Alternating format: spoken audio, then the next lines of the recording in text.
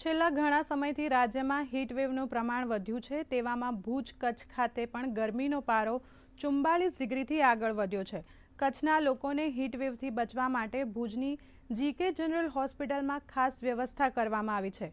લોકોને સરળતાથી સારવાર મળી રહે તેવી વ્યવસ્થા આ હોસ્પિટલમાં ગોઠવવામાં આવી છે. હાલ ભુજની જીકે જનરલ અદાણી હોસ્પિટલમાં દર્દીઓને સારવાર આપવામાં આવી રહી છે. ખાસ કરીને હીટવેવથી દર્દીઓને ચક્કર આવવા માથાનો દુખાવો થવો બ્લડ પ્રેશરની વધઘટ થવી ડિહાઇડ્રેશન થવું, હૃદયના ધબકારા વધી જવા, નબળાઈ આવી વગેરે જેવા લક્ષણો દેખાય છે. ત્યારે તેમને તરત જ સારવાર મળી રહે તેવી વ્યવસ્થા કરવામાં આવી છે. દર્દીને ચક્કર આવવા, થોડું ડિહાઇડ્રેશન લાગવું, નબળાઈ લાગવી, ધબકારા વધી જવા. અને માથાનો દુખાવો થવો, ઉલટી ઉપકા જેવા લક્ષણો હોઈ શકે છે. તો જનરલી એ દર્દીઓને આપણે વધારે પડતું પાણી પીવાની સલાહ આપીએ સાથે ઓઆરએસ અને પેરાસિટામોલ ટેબ્લેટ આપી શકીએ છીએ, જેનાથી રાહત થઈ જતી હોય છે.